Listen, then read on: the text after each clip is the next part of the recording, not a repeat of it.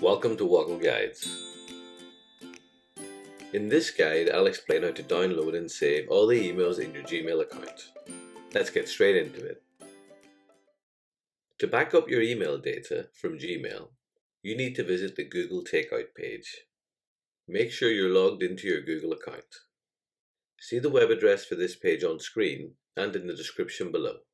The Takeout page allows you to download copies of your information from any of the Google products, but in this guide we'll focus on Gmail. Looking at the page, by default, all Google products are selected for export. We only want to download a copy of Gmail emails, however, so I'm going to choose to deselect all products and then first scroll down to the Gmail product selection of the page. As you can see, there are a lot of Google products to get through, but eventually we'll reach the mail section. Let's select the checkbox to indicate that we want to download a copy of our emails. I'll take a moment just to pause on the mail formats because this is important if you want to re-import these emails back into Gmail.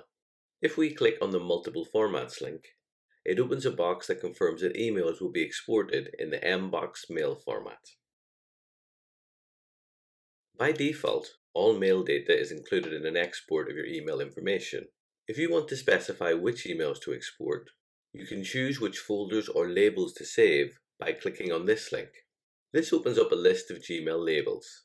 To choose a specific group of these folders, uncheck the Include All Messages in Mail checkbox, and then choose the specific folders you want to add to your export.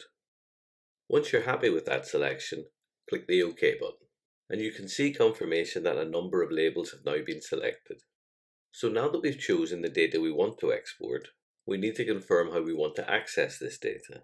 If I scroll to the bottom of this page, Let's click the Next Step button to do that. The first option to choose is how you want to deliver the export of your mail data. If we click on the drop-down, you'll see we have a number of options. If your account has passed its 15GB storage limit, then I'd recommend you don't request a download link via Gmail, unless you have an alternative Gmail email address, or to add the export to your Google Drive. Instead, look at exporting to one of the other storage options shown. I'm going to click on the email link option however, as I can still receive emails. In this next section, we can choose whether we want to run a one-off export of the data or whether we want to schedule a regular backup to run every two months of the next year. I want to run the backup today, so I'm going to choose the single export. The last two options ask you to specify the file type and split size for the export. Both file types shown are compressed files that reduce the size of the exported data so it takes up less space. I'll keep this export as the more recognized .zip file. As part of the export, any larger files will be split into smaller files.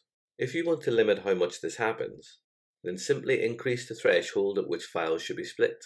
Bear in mind, however, that if you change the split size to larger than 2 gigabytes, then older operating systems may have issues extracting the mail data from the zipped file. To be safe, I'm going to keep the split size at 2 gigabytes. To create the data export, click on the Create Export button.